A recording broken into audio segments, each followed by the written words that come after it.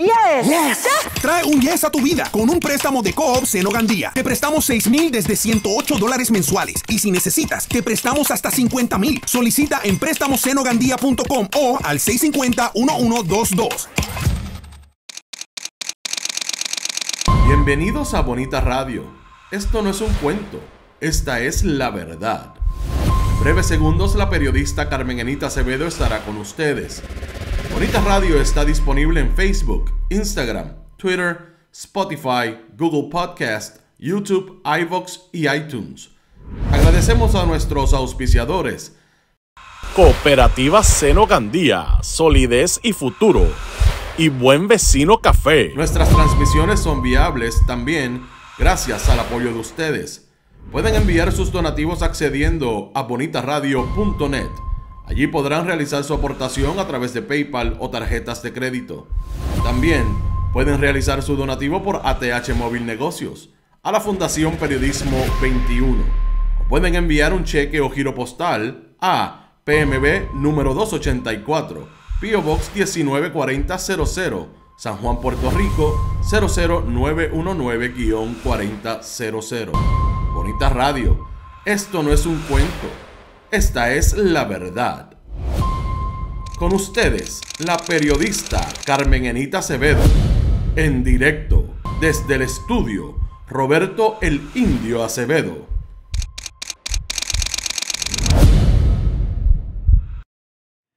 Saludos y buenas tardes. Soy Carmen Enit Acevedo y a esta hora, a las 5 y 9 de la tarde, ¿qué palo es noticia? Hoy 21 de marzo del 2024 y acabado de recibir el juez Anthony Cuevas determinó descalificar a los candidatos de Victoria Ciudadana advirtiendo que tenían que recoger endosos.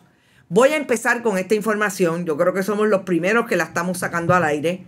De hecho, voy eh, a pedirles que me disculpen, pero tengo que eh, ponerlo eh, sobre todo en nuestro en nuestra plataforma de Twitter.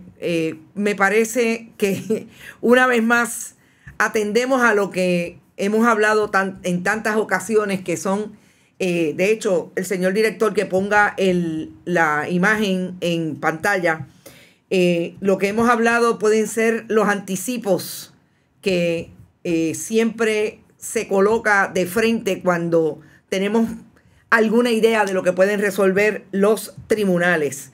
El juez, vuelvo y repito, Anthony Cuevas Sayas, determina que en efecto tenían que recoger endosos, eh, entre ellos Ana Irma Rivera Lacén y aquellos Alejandro Santiago, los que incluso fueron la semana esta, este pasado fin de semana eh, a la elección que los convirtió en candidatos únicos, dice el juez. No me he podido leer, obviamente, eh, de la sentencia, pero dice específicamente, y cito, eh, que, eh, y, y discúlpeme, pero la verdad es que todo llega a la vez. A tenor con lo anterior, que obviamente es toda la, toda la discusión que tuvo en esta sentencia, se declara no al lugar a las mociones de desestimación presentadas y se dicta sentencia declarando al lugar la querella presentada. En su consecuencia quedan descalificados los querellados Anaíma Rivera Lacén, Edgardo Cruz, que sabemos que fue al procedimiento alterno el fin de semana pasado, Alejandro Santiago Calderón, Ramón Cruz Díaz, Edwin Marrero Martínez, Rafael Bernabé Rifcol, Mariana Nogales Molinelli, Olvin Valentín Rivera, Gladys Mirna Conti Hernández, Antonio Sánchez, Aponte, Stephen, Stephen Hill Álamo y Wilfredo Pérez Torres. Estos dos últimos, eh, los candidatos de Proyecto Dignidad. Yo prometo que tan pronto eh, yo me lea esta eh, sentencia, intenté buscar información eh, en las redes sociales, pero yo creo que honestamente en el momento en que nosotros la recibimos, era el momento en que se estaba enviando a todos eh, los eh, periodistas y no creo que honestamente haya salido en ningún otro sitio. Tan pronto yo me la lea más tarde, después que termine este programa, prometo hacer una publicación relacionada y sobre todo traer alguna reacción, si es que van a tenerla hoy, de aquellos candidatos de Victoria Ciudadana. No creo que los de Proyecto Dignidad me contesten, pero los de Victoria Ciudadana con relación a esto. Importante que atendamos las razones. Lo único que yo puedo adelantar es lo que está en este documento y es una, un hincapié que hace el juez Debemos concluir que los querellados son aspirantes según establecido por el código y ambos reglamentos y que por lo tanto debieron haber presentado las peticiones de endosos requeridas para los puestos que interesaban aspirar. Resolver de otra forma sería contrario a las disposiciones del Código Electoral. Aunque este tribunal entiende que las contiendas políticas se deben resolver en las urnas, el Código Electoral no permite otra cosa que no sea la que hemos ya expresado en nuestros análisis. Distinto hubiera sido el resultado si estuviéramos ante el código del 2011 o el código electoral del 77. En ambos códigos se establecía claramente que las personas seleccionadas de conformidad con el procedimiento antes descrito no tendrán que cumplirse cumplimentar, perdón, los requisitos de erradicación de peticiones de primarias para cualificar como candidatos en la papeleta electoral, etcétera, etcétera. Así es que, gente, yo espero que más tarde podamos eh, no solamente leerla con calma, sino tener más información relacionada a lo que eh, le estamos trayendo en exclusiva, es que el juez eh, Anthony Cuevas Saya, perdón, Ramos, decidió en contra de Victoria Ciudadana y en contra de Proyecto Dignidad sobre el asunto de el, recogido de endosos y advierte que tenían que recoger endosos y lo está descualificando. Yo no sé si después de esto nosotros vamos a tener oportunidad de poder hablar de los dos temas que queríamos hablar y quizás eh, definitivamente sí tenemos que hablar eh, de lo que nos parece una victoria de las comunidades, sacando un poco el asunto político partidista. Eh, a base de esta eh, determinación del juez Anthony Cuevas de cara a las elecciones de noviembre. Eh, y es lo que acaba también de ocurrir el pasado 11 de marzo y que nos enteramos hoy porque nos llegó el documento que oficializa que Enrique Questel, el ex alcalde del Partido Nuevo Progresista en Santa Isabel, tiene que demoler todo lo que construyó ilegalmente sin una concesión del el Departamento de Recursos Naturales y Ambientales en el área del barrio Playa de Santa Isabel. También quiero entrar a discutir con ustedes esta tarde lo que deja caer la campaña político partidista, más allá del anuncio que tuviéramos que dar eh, con relación al caso de Victoria Ciudadana, Proyecto Dignidad y la alianza violeta entre el Partido Nuevo Progresista y el Partido Popular, lo que acaba de determinar el tribunal, y tiene que ver con eh, lo que se denomina o nosotros hemos denominado como la eh, nómina de lujo en el Departamento de Educación y que el gobernador de Puerto Rico insiste en que deben eh, debe ser la explicación una político partidista para esta denuncia. Y yo quiero entrar en eso primero, antes que en la excelente noticia de que el Departamento de Recursos Naturales haya ordenado la demolición en el caso de Santa Isabel.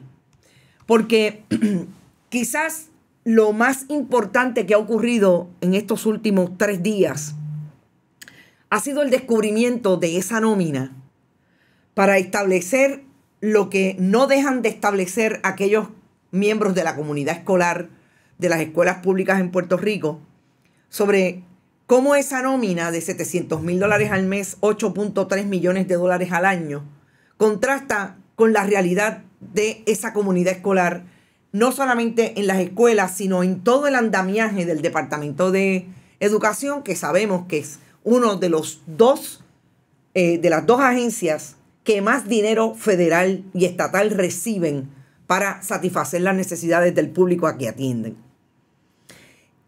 Y el gobernador del 33% dijo hoy, después que inició este discurso y se lo pasó a Yanira Raíces y vimos como ayer ella de hablar de que supuestamente son personas que emiten política pública y que por eso es tan importante atender el asunto eh, relacionado con esos salarios que van desde 10 mil dólares hasta 9 mil y pico de dólares en el caso de los superintendentes regionales y eh, choferes confidenciales y secretarias confidenciales hasta de 4 mil 500, casi 5 mil dólares.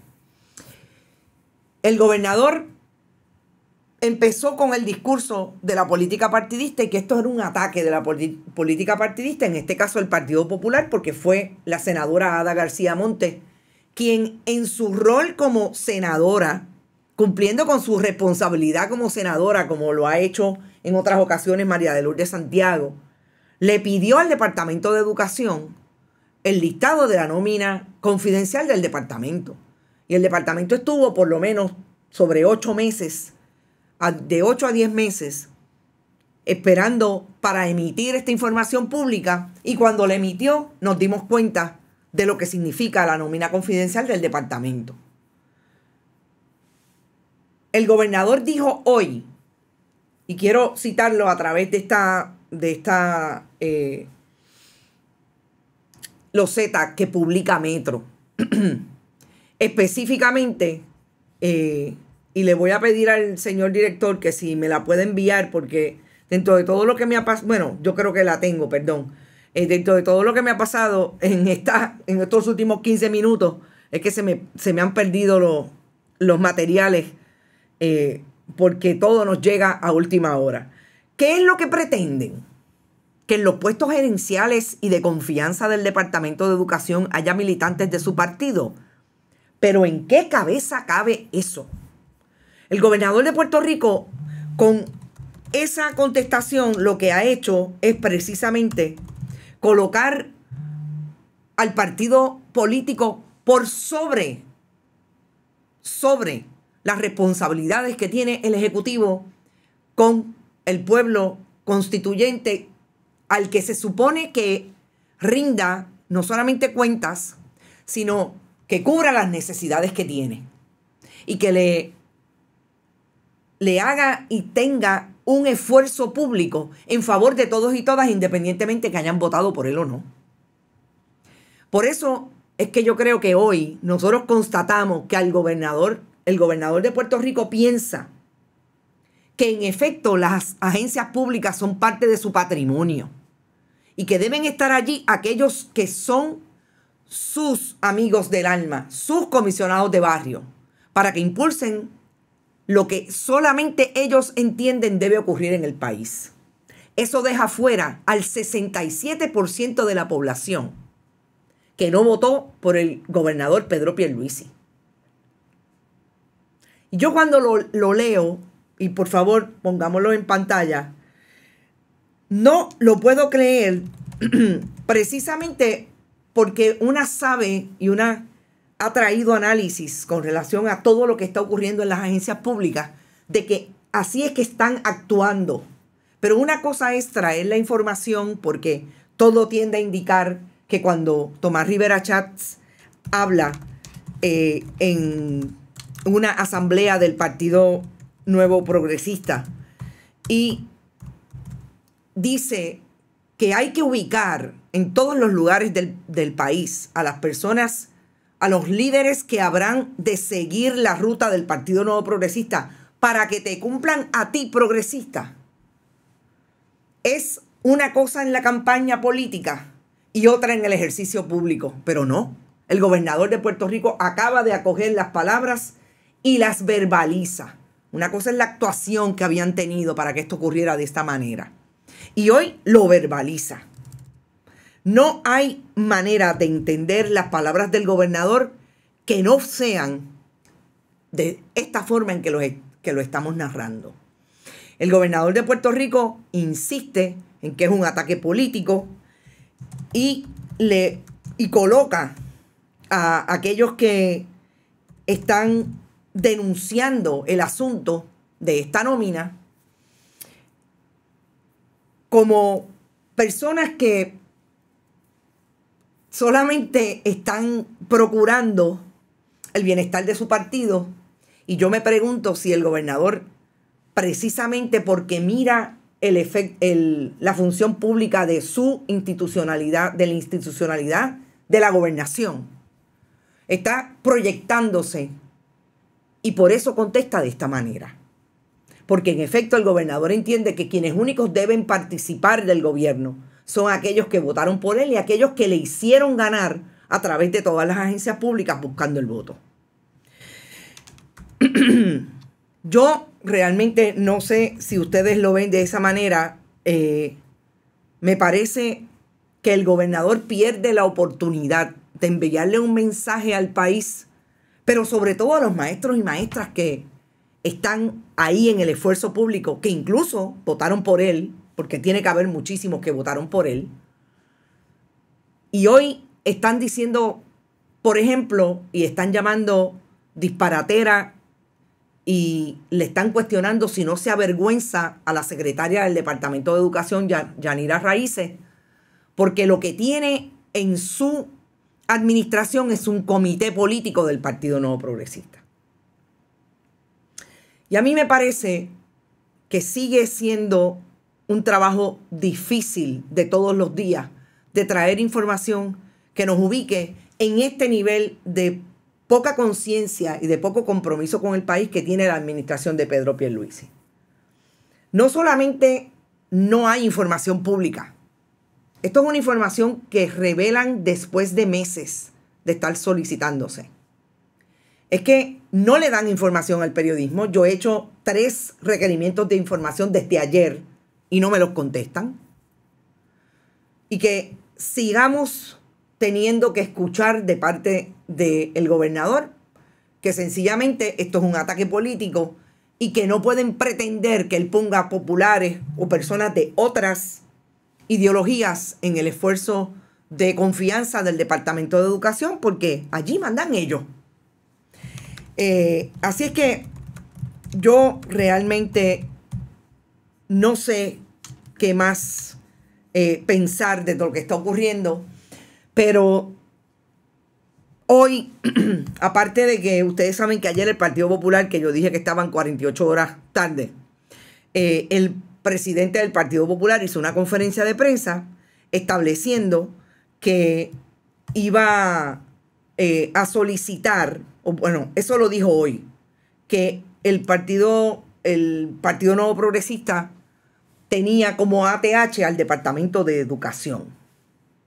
Y yo quiero recordar no solamente que eso en efecto fue lo que se dijo en el momento en que se investigó, por allá por el 1999, gente. Hace 25 años, la corrupción nefasta en el Partido Nuevo Progresista desde el Departamento de Educación. Sino que en aquel momento, tres años antes, Pedro Rosselló González era el gobernador de Puerto Rico y Pedro Pierluisi era el secretario del Departamento de Justicia. Y en aquel momento no había la remota posibilidad de que alguien le pudiera cuestionar, porque tenían un súper eh, entourage montado en el gobierno de Puerto Rico, le pudiera cuestionar a la administración de turno que lo que estaban haciendo era política político partidista montando toda una estructura para vivir cada cuatro años de los contratistas a quienes le daban contratos en el gobierno de Puerto Rico mientras ellos mantenían las arcas del Partido Nuevo Progresista donde ellos las querían para poder tener la posibilidad de ganar las elecciones. Y en aquel momento, Pedro Rosselló González, tres años antes, hizo una presentación de presupuesto donde hablaba de cómo iban a mantener. Y fíjense que estamos hablando de historia, pero es súper importante para contextualizar lo que está pasando hoy y cómo administración tras, administración, el Partido Nuevo Progresista, ha mentido sobre sus eh, potenciales proyectos a nivel del el gobierno de Puerto Rico. Y esta presentación de presupuesto hablaba de cómo iban a incentivar el, el trabajo público y cómo iba a haber un control del empleo en el gobierno a tal punto de que no solamente iba a haber un plan nuevo de reclasificación y, y, y retribución, perdón, sino que iban a haber aumentos millonarios. Esto fue en el 1996, con la idea de llevar a un término, eh, como siempre ha sido, porque el empleador más, eh, más grande del pueblo de Puerto Rico es el gobierno, para hacerle justicia a esos empleados públicos.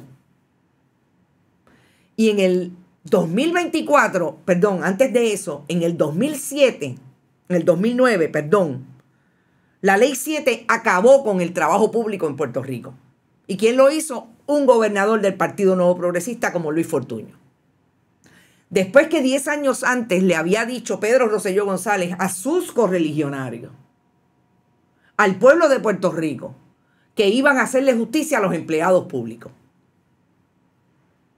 Diez años más tarde, los votaron del servicio público y el efecto sobre 30 mil empleados públicos y se imaginan lo que significa eso para la familia. Después de ahí, la privatización ha sido la orden del día y hoy nos enteramos que con el dinero que llega, no de transferencias federales, porque eso es importante decirlo en este asunto de la nómina de lujo, esos que están ahí, esos 93 puestos eh, de confianza, son pagados con el fondo estatal. ¿Dónde están los que pagan con fondos federales? Esa no la entregaron. Nosotros tenemos ya como por lo menos nueve nombres de personas que son de ese eh, nivel de confianza, que están cobrando jugosos salarios y no están en esa lista. Y esa información no la entrega el gobierno de Puerto Rico. Y en este momento, lo más interesante de todo este asunto es que el Partido Popular hoy parece que tuvo, alguien eh, los alumbró y pidieron, por lo menos Jesús Manuel Ortiz, el presidente del Partido Popular, representante, a 14 agencias de gobierno, interesante que dejaron fuera al Departamento de Salud y a Corrección y Rehabilitación, no sé por qué, eh, a 14 agencias de gobierno el listado de sus nóminas de confianza. AMSCA, Autoridad de Acueducto y Alcantarillado, Autoridad de Asesoría Financiera y Agencia Fiscal de Puerto Rico, AFAF. La Corporación del Fondo del Seguro del Estado, la Autoridad de Edificios Públicos, el Departamento de Agricultura, Desarrollo Económico, Hacienda, recreación y deporte le volvieron a pedir educación, seguridad pública, transportación y obras públicas, gerencia y presupuesto y la administración para la transformación eh, y recursos humanos del gobierno de Puerto Rico. Cuando esto baje, como diría un colega periodista que lo colocó en Twitter, ahí sí que van a haber fuegos artificiales. Porque la información que nosotros tenemos es que educación es una de ellas. Interesante que no le haya pedido al departamento de la familia. Yo pregunté por qué no le pidieron, digo, le envié un mensaje al, representante, pero no me ha contestado. ¿Por qué no se lo pidieron al departamento de salud? Porque sabemos, por investigaciones que hemos hecho, investigaciones que han hecho otros colegas, que el departamento de salud lo menos que tiene son gente ocupando puestos que estaban jubilados del departamento de salud y están ocupando puestos hoy. ¿Ok? Extraño que dejaron a salud fuera. Eso es lo que yo me pregunto también. Carmen, menciona lo de hoy, subió documentos, caseta de parguera, tienen que ser demolidas. Está en el... No, pues no sé. Eh, Nel, lo voy a buscar porque no tengo información sobre eso. Tan pronto lo, lo verifique, te, te, dejo saber. No tengo información sobre eso. Tengo lo de eh, el caso de Santa Isabel, que me llena de mucho orgullo, por sobre todo los pescadores que fueron los que lucharon solitos, porque nadie los quiso ir a ayudar. Y eso es así. Me consta porque es una investigación que tengo desde el día uno. Si no votan la alianza, dice Lisette de León, eh, la Alianza Violeta gana. Ve y vota así por writing por las personas que tú quieres en el gobierno. Eh, está diciendo Licetti. Perdonen que no los, no los saludé a ustedes, pero ya ustedes saben cómo empezó este programa hoy. A esta hora, gracias a las cooperativas de Vega Alta, la cooperativa Manuel Seno Gandía, siempre por apoyar nuestro proyecto de Bonita Radio. Y como siempre, si usted necesita de ir a un quiropráctico, vaya a la quiropráctica funcional en Caguas, en Bairoa. Los doctores Apolonia y Braulio González Rodríguez allí están eh, para ustedes y tienen toda la información que puedan. En la página de Bonita hay un post de anuncio y también en sus páginas de Instagram y de Facebook. Dice Yolanda que ya quiere votar en la casa. Saludos desde Lowell, Massachusetts. Saludos, Alejandro Delgado. Qué bueno que estás por ahí. JJ Rocco. Por ahí está todo el mundo. Y toda la gente que me envió mensaje antes por eh, el asunto de Santa Isabel. Agradecida. Gracias por el apoyo. Yo quiero hablar mucho de Santa Isabel porque si, si hay unas personas que se merecen que esta noticia son los pescadores de Santa Isabel. Yo quiero decir, lo primero que quiero decir es que esta lucha de los pescadores de Santa Isabel es una lucha pobre. Y cuando yo les digo que es una lucha pobre, es que allí hay, por lo menos yo he conocido a cinco más o menos, pescadores que solamente vieron la luz a nivel institucional, que alguien les diera apoyo. Cuando le, le plantearon a la representante del distrito de esa área, Santa Isabel Guayama, eh, Guayama no, perdón, Santa Isabel, Villalba eh, y Juana Díaz, creo que es el otro municipio, Estrella Martínez, que lo que estaban viviendo en Santa Isabel después del huracán María, antes, pero se agravó después del huracán María, es que precisamente Enrique Questel, el ex alcalde de Santa Isabel por el Partido Nuevo Progresista, había usurpado los terrenos que le pertenecían al municipio para construir y desarrollar allí incluso hasta una guardería de botes, un gazebo y diferentes estructuras para una corporación conocida como Aquamac de su propiedad.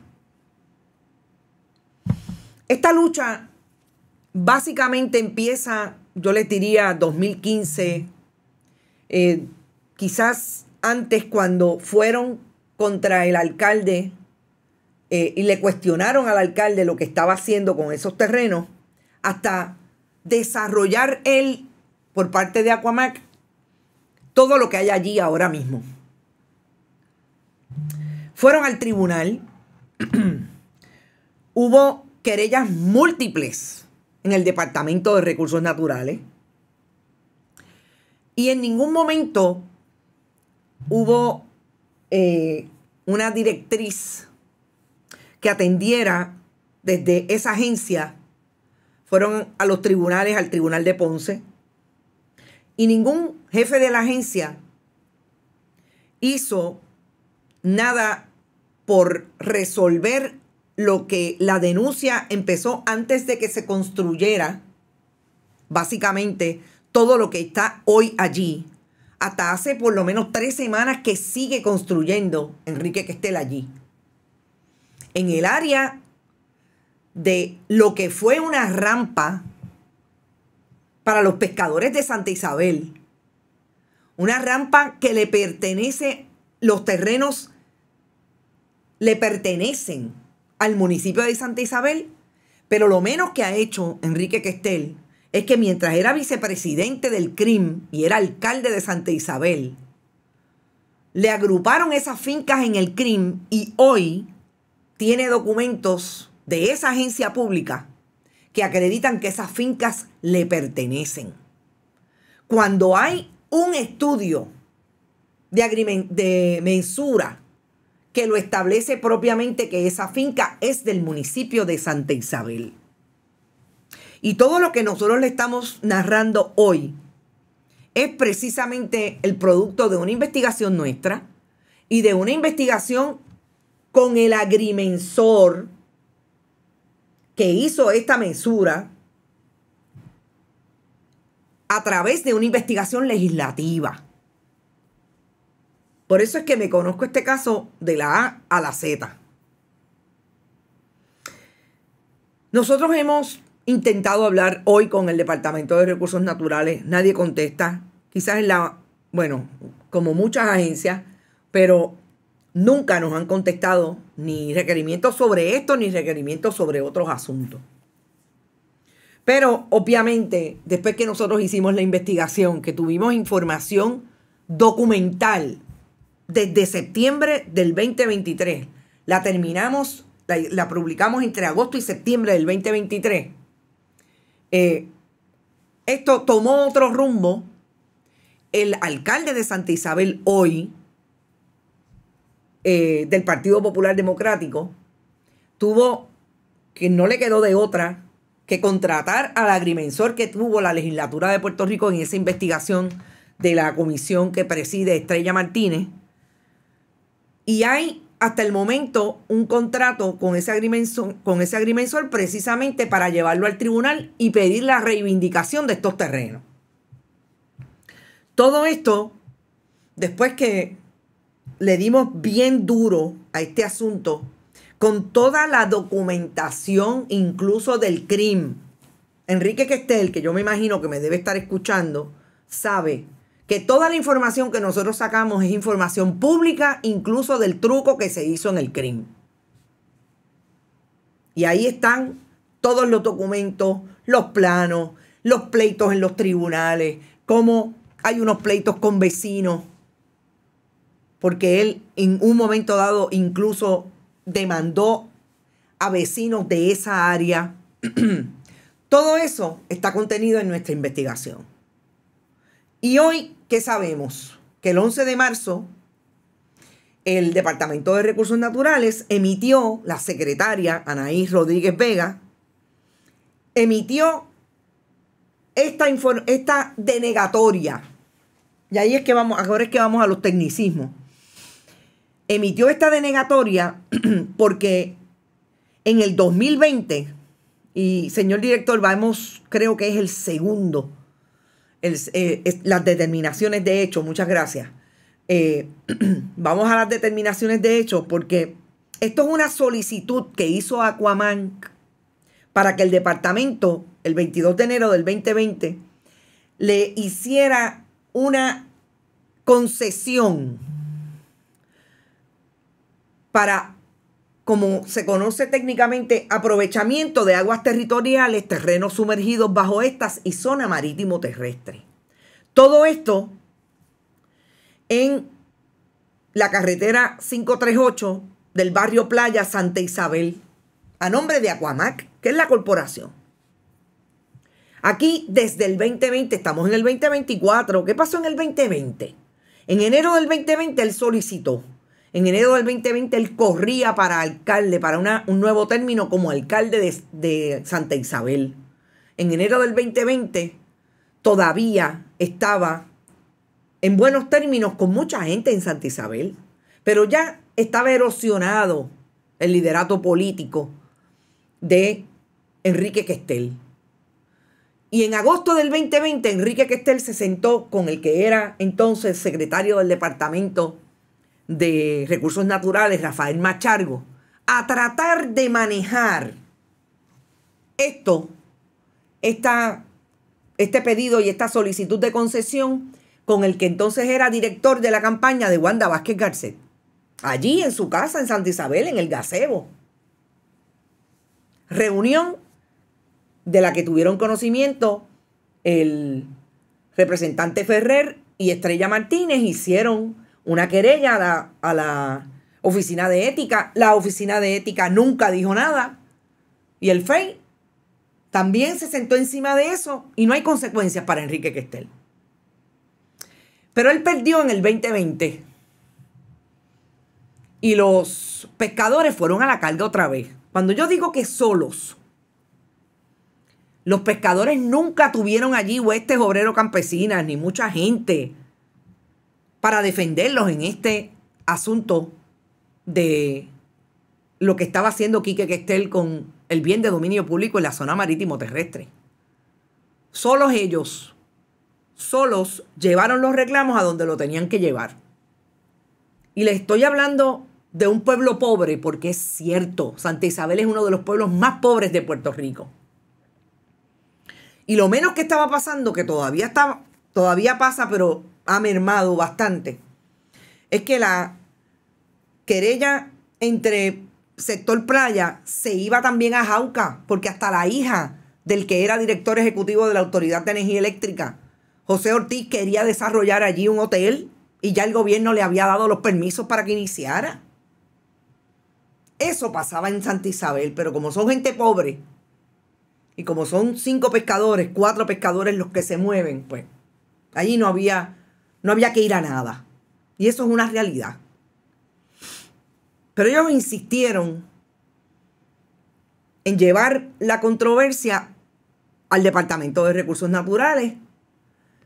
Y después de agosto-septiembre del 2023, que el alcalde manejó el tema, el nuevo alcalde, en contratación con el agrimensor, etcétera, las cosas se han ido moviendo de otra manera y ya no le queda de otra al Departamento de Recursos Naturales, que no sabemos por qué estuvo cuatro años para negar esta solicitud de concesión, cuando le digo que hasta hace tres semanas, Quique Questel estaba construyendo en la zona de marítimo terrestre en el bien de dominio público, que eliminó la rampa, la privatizó para él y su negocio habiendo dinero de Fish and Wildlife para las rampas de pescadores después de lo que pasó con el huracán María. El departamento no había hecho nada. Pues yo creo que el departamento, como vio que los pescadores no se vencieron, investigaciones periodísticas han habido como la que hemos hecho nosotros, etcétera, no tuvieron de otra. Que en efecto ordenar esta demolición. ¿Y cuál es el efecto que tiene esto? Obviamente, tiene 20 días para recurrir e impugnar esta decisión de, eh, de la secretaria Anaí Rodríguez Vega, que el mismo día en que la secretaria estuvo en, en febrero haciendo una inspección allí, y estos son parte de los pescadores que conozco y reconozco como los únicos que tienen que llevarse el crédito porque lucharon y lucharon para que esto se diera. El mismo día en que la secretaria estaba allí, estaban eh, cortando mangle. En el gazebo, donde la menos que se ha sentado en ese gazebo ha sido la comisionada residente, hoy precandidata a la gobernación del Partido Nuevo Progresista, Jennifer González. Y esto es una foto del 2019. O sea, aquí todo el mundo sabía que Enrique Questel tenía y se había aprovechado de bienes de dominio público. Desde el Departamento de Recursos Naturales hasta la Fortaleza. Hasta la comisaría residente en Washington, si no quiere decir que está en Puerto Rico, que está en Washington. Y nadie había hecho nada. Y es la presión de los pescadores, es la denuncia de los pescadores, la que colocó a la secretaria Anaí Rodríguez Vega en no poder hacer otra cosa que esta. Y vamos a la última página de esta orden. esta orden establece, recordemos que es una denegatoria de la, eh, de la concesión. Vamos quizás, señor director, a la página, a la página antes, donde está listando cuáles son eh, lo que el departamento los lugares inadecuados. Eh, sí, pero bueno, los lugares inadecuados, esto es todo lo que se da, eh, le da eh, jurisdicción al departamento en atender este asunto. Las actividades que afectan la zona costanera. Toda solicitud será evaluada en cuanto a su conformidad con el programa de manejo de costa. Esto es toda la justificación para haber tomado la determinación que tomó. Vamos entonces a la última, a la última página donde propiamente establece cuáles son los términos que tiene esta eh, denegatoria de solicitud. Conforme con las determinaciones de hechos y las conclusiones de derecho antes mencionadas, resolvemos denegar la solicitud de concesión para el uso y aprovechamiento de una rampa en concreto. Óiganse las cosas que hizo ilegalmente, sin permiso, Enrique Questel rampa en concreto, terrazas, muelles en madera, estructuras asociadas, marina comercial y estructura comercial aquarium, localizadas en la carretera 538, barrio Playa del municipio de Santa Isabel, en un espacio en las aguas territoriales, terrenos sumergidos bajo estas y la zona marítimo terrestre a nombre de Aquaman. Aquamark. Aquamac. Perdón por no cumplir y presentar toda la documentación necesaria para tramitar la solicitud de concesión en referencia. Es que no podía presentarla porque todo era ilegal. A tales efectos se ordena la demolición y remoción de toda estructura que esté localizada en los bienes de dominio público marítimo terrestre, incluyendo la restauración del área a su estado natural.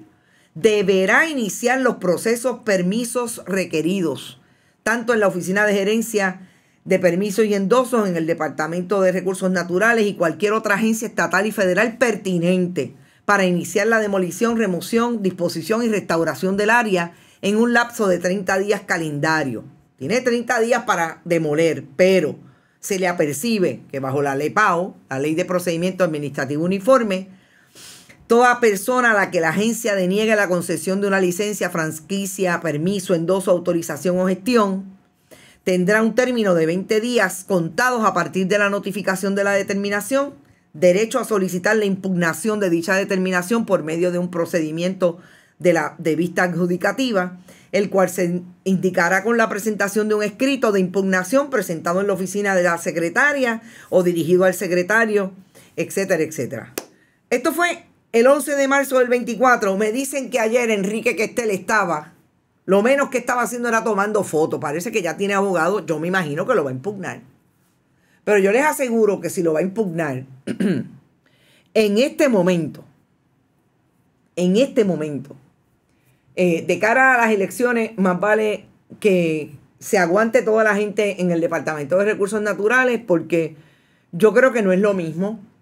Este no es el mejor, el mismo momento en que Enrique Questel estuvo desde el día uno que llegó a la alcaldía con esos terrenos, porque él tiene terrenos que son legítimamente de él allí, pero no son los donde construyó, precisamente en la zona marítimo terrestre, porque esos son terrenos del municipio de Santa Isabel. Incluso lo que no están, lo que no está en la zona marítimo terrestre, que él construyó, lo construyó en terrenos del municipio, apropiándose de terrenos del municipio, agrupando las fincas en el crimen cuando era vicepresidente del crimen. Y si quieren ver todos los documentos, nosotros los publicamos en la página bonitarradio.net en una historia, en una de las historias, son dos historias. Eh, una de ellas en septiembre del 2023, específicamente 21 de septiembre, bajo el nombre que Estel era miembro junta del crimen cuando le agruparon finca del municipio a la de su propiedad. Eso es yo creo que lo más importante que ha pasado, más allá de lo que no hemos leído todavía en el día de hoy, con conocimiento, ahí están los documentos, ahí están las imágenes.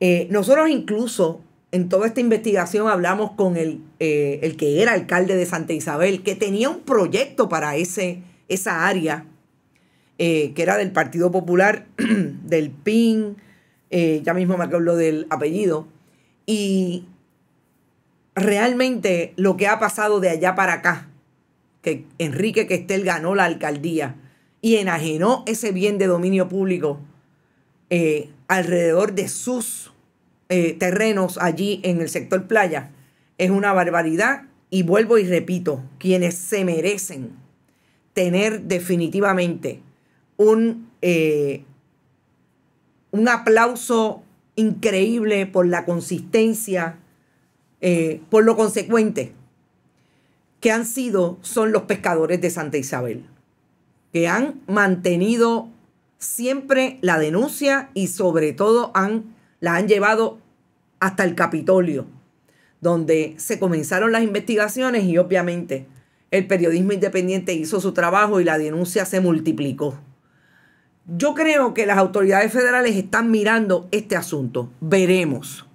Me parece que hay algo de eso, pero todavía no estoy en posición de dar información sobre eso.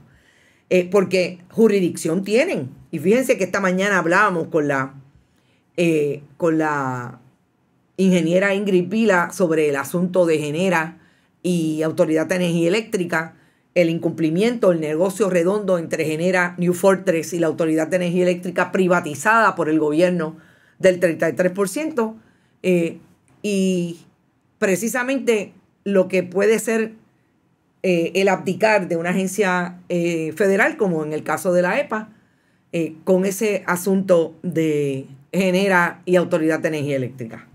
Nosotros nos vamos, no vamos a hablar de política partidista, voy a bueno, más allá de lo que he dicho, pero que tiene el contexto de la denuncia de la nómina de lujo, eh, vamos a tratar de leer con detenimiento lo que decidió el juez y ya sea hoy, creo que sí que publicaremos algo más tarde, pero mañana por la mañana, de hecho, tenemos el análisis a las 8 en Otro Noticias con Café.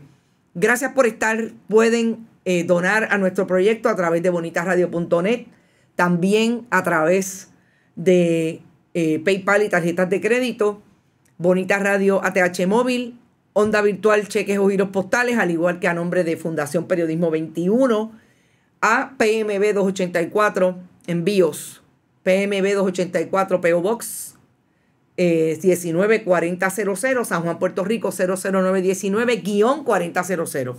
Éxito y hablamos mañana de todo, dice Egui Aguilar, necesitamos un programa especial esta noche sobre el caso de Victoria Ciudadana. Vamos a ver, déjenme leer y volvemos.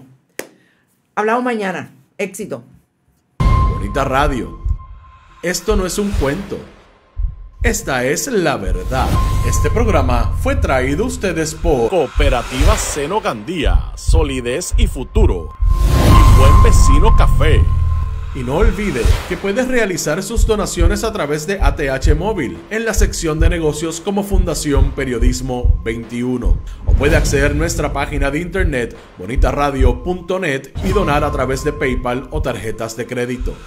También puede enviar cheques o giros postales a nombre de la Fundación Periodismo Siglo XXI, PMB 284, PO Box 194000, San Juan, Puerto Rico 00919-4000. Bonita Radio, esto no es un cuento, esta es la verdad.